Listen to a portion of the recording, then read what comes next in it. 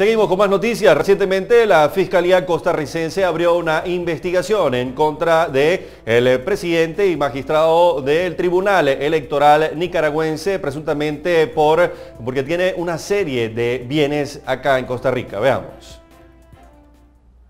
La Fiscalía de Costa Rica abrió el proceso indagatorio para determinar el origen de recursos y legitimación de capitales del magistrado Roberto Rivas, presidente del Tribunal Electoral de Nicaragua, luego de demostrar que el funcionario tiene una serie de bienes en Costa Rica, según los documentos que maneja el Departamento del Tesoro de los Estados Unidos, quien decretó medidas sancionatorias contra el magistrado del Poder Electoral acusándolo de cometer fraude y de haber obtenido una considerable riqueza con cuentas en el extranjero. El gobierno norteamericano congeló los bienes de Roberto Rivas en los Estados Unidos y le prohibió a personas naturales y jurídicas estadounidenses realizar transacciones comerciales o financieras con él.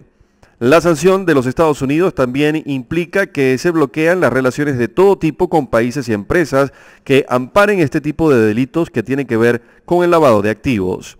Por esta razón, la Fiscalía costarricense abrió el proceso legal y para colectar pruebas emitió comunicaciones a todas las instituciones bancarias, notarías y el registro principal para que se inicie la investigación de los bienes, empresas, asociaciones y cuentas bancarias que tiene en Costa Rica el presidente del Consejo Nacional Electoral de Nicaragua, quien a pesar de los señalamientos y sanciones internacionales, aún sigue ostentando el cargo como jerarca del poder electoral nicaragüense, situación que viene siendo denunciada por opositores al gobierno del presidente Daniel Ortega.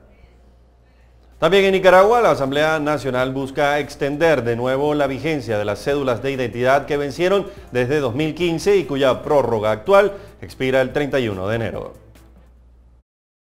El diputado Wilfredo Navarro de la Junta Directiva de la Asamblea Nacional de Nicaragua explicó que un grupo de legisladores junto al Consejo Supremo Electoral ya analizan la necesidad de prorrogar la vigencia de las cédulas vencidas. En 2014 se estableció el 31 de enero del 2018 como fecha tope para renovar las cédulas vencidas y las autoridades no han confirmado aún cuántos documentos de identidad vencidos son los que todavía circulan en Nicaragua. El presidente de Nicaragua, Daniel Ortega, envió a la Asamblea Nacional la propuesta de reforma para que las cédulas vencidas puedan ser usadas hasta el 30 de abril de 2019. La Asamblea Nacional de Nicaragua tendrá sesiones plenarias la próxima semana y Navarro opinó que es posible que la iniciativa de reforma se presente y se apruebe en esos días, es decir, que podría llegar con trámite de urgencia. El diputado Navarro aclaró que las cédulas con viejo formato pero que se encuentren vigentes no será necesario cambiarlas. Las cédulas que sí deberán ser renovadas son aquellas cuya fecha de vigencia ya expiró y que tienen un costo de renovación de 10 dólares. Sin embargo, los nicaragüenses consideran que el pago de 10 dólares por este trámite tiene un precio elevado. Hombre, pues como me la regalaron, utilizo el nuevo.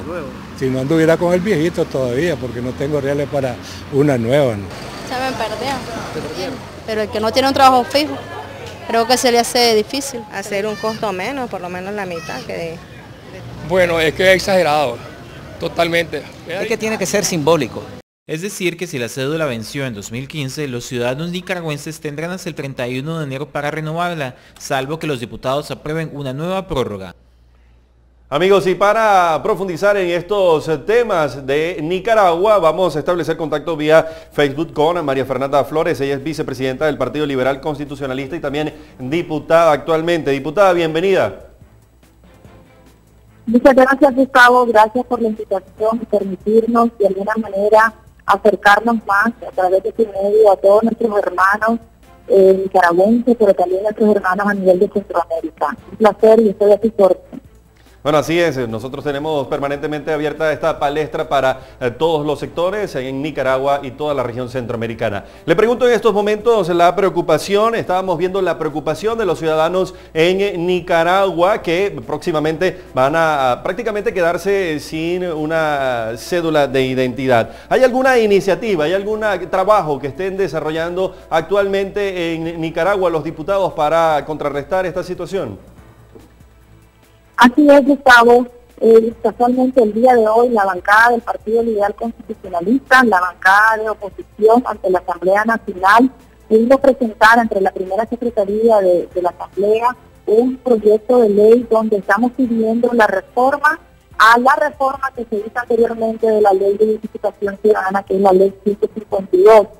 Es precisamente a, raíz de la preocupación de muchísimos nicaragüenses a nivel nacional y a nivel internacional que han exigido de que la cédula de identidad no sea vencida ese 31 de enero del Consejo Supremo Electoral. Nosotros en esta iniciativa de ley estamos pidiéndole a los honorables diputados de la Asamblea Nacional que nos apoyen en poder decirle al pueblo de Nicaragua que extendamos este periodo de vencimiento hasta el, a, finales de julio del 2019. ¿Por qué 18 meses, dirás vos? Precisamente porque el año que viene todavía tenemos un proceso electoral iniciar el Atlántico Sur. Esas elecciones se llevarán a cabo en marzo del año que viene. Entonces, si la, así, con esta de esta manera, con esta prórroga de los 18 meses, el ciudadano nicaragüense va a poder ejercer su derecho al voto en marzo y todavía tener suficiente tiempo para que al 30 de junio del 2019 se le venza el periodo de poder cambiar o renovar su cédula. Pero ¿cuál es el problema? En Nicaragua hemos transformado la cédula y tenemos un formato bien. Eso es lo que le quería decir. ¿Nos puede explicar eso? ¿Qué pasa con la cédula? cambio de formato. ¿Perdón? Que eso es lo que quiero que nos explique eh, más a profundidad. ¿Qué pasa actualmente con la cédula? En Nicaragua tenemos ciudadanos que, han, que, tienen un formato antiguo, el formato antiguo de la cédula y el formato nuevo de la cédula. Que cambiaron el formato hace un par de años en, el Consejo Supremo Electoral. Ese cambio de formato a modernizar, para tratar de modernizar lo que es la cédula de identidad, tiene un costo de 300 córdobas 300 Córdoba es un poquito cerca de 10 dólares. Nosotros estamos incluyendo en esta iniciativa de ley que además de extender el plazo a 18 meses en vez de que concluya el 31 de enero, solicitar también de que el costo para cambiar el formato original al formato nuevo de la cédula de identidad no tenga un costo, que al nicaragüense no le cueste un centavo no le cueste ni un centavo tener, poder lograr hacer ese cambio de formato. ¿Por qué? Porque somos un país pobre, Gustavo. Somos un país donde todavía tenemos gente que ni siquiera que sobrevive con 100 córdobas al día. Y poder contar con 300 córdobas para cambiar el formato se nos dificulta a muchos de ellos. Tenemos una gran cantidad de ciudadanos que viven en la parte rural del país, donde la lejanía donde la falta de ingreso, donde la falta de educación, de cultura les afecta a su día a día y se les complica también el poder tener el acceso a cambiar ese formato.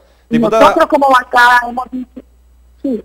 No, eh, que quería cambiar de, tema también. Estamos entendiendo ya la situación con las cédulas de identidad, pero como tenemos pocos minutos, quería eh, que nos acotara cómo está en estos momentos la oposición también eh, percibiendo este tema que tiene que ver con los, en el actual momento, con la sanción que los Estados Unidos han puesto contra Roberto Rivas, el actual magistrado presidente del Tribunal Electoral. Así es, Gustavo, pero para resumir, en el tema de la, de la, de la, de la petición que estamos haciendo como bancada del PLC son para la prórroga de 18 meses y que no le cueste al nicaragüense, al ciudadano nicaragüense, ni un centavo el poder cambiar el formato del antiguo al moderno. Eso es para concluir con el primer tema. Y en el tema que me mencionaba, que quiero decir algo.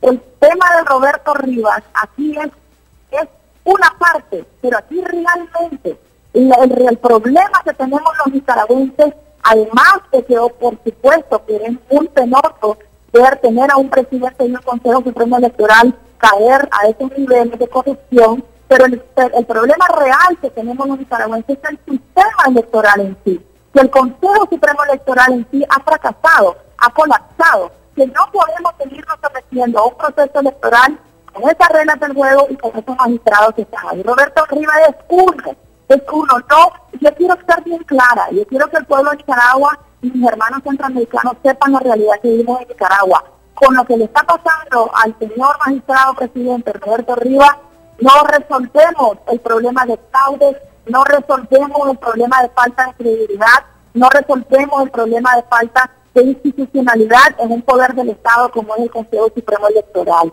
El problema es más allá, son cambios trascendentales de muchos fondos que se tienen que hacer en este sistema. Roberto Rivas tendrá que él asumir sus responsabilidades y someterse a un proceso jurídico judicial en su momento. En Nicaragua él hoy no tiene un proceso abierto, quiero también ser bien, claro en eso, pero como liberal que somos, creemos en la justicia, creemos en las oportunidades, en las libres oportunidades y sobre todo creemos en un balance de poder. Y yo creo que él va a tener que someterse a la justicia, someterse al proceso jurídico y que la justicia en el pueblo de Nicaragua busque. A mí me preocupa más, Gustavo, sinceramente, el que se hagan las, transformaciones necesarias, las reformas necesarias para que tengamos una ley electoral equitativa, una ley electoral justa y sobre todo que todo lo que significa el Consejo Supremo Electoral sea transformado, porque no es Roberto Rivas, Roberto Rivas es solamente el presidente que te garantizo que ni siquiera ejerce como presidente,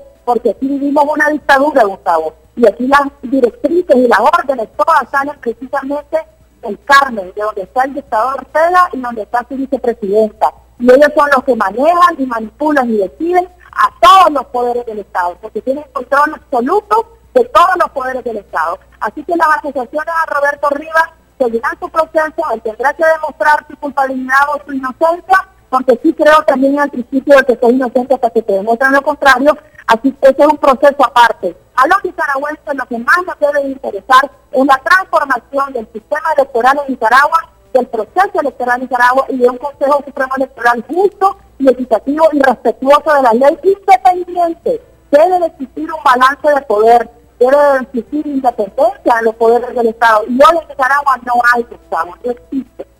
Bueno, muchas gracias, diputada. De verdad, su análisis muy completo y este, como les, reitero, acá está abierta la palestra pública de C24 Noticias de Centroamérica para toda la información que se genere en, Nicaragua y en toda la región. Muchas gracias, diputada.